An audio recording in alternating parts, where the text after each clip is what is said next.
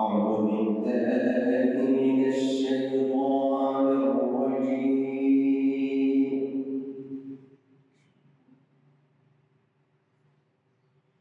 بسم الله الرحمن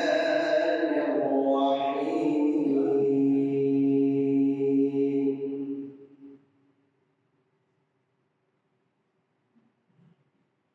ولله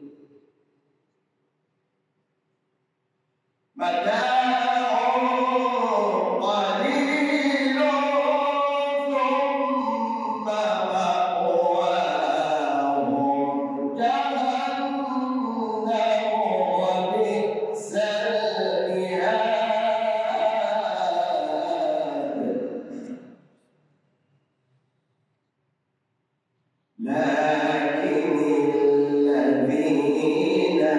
نزلا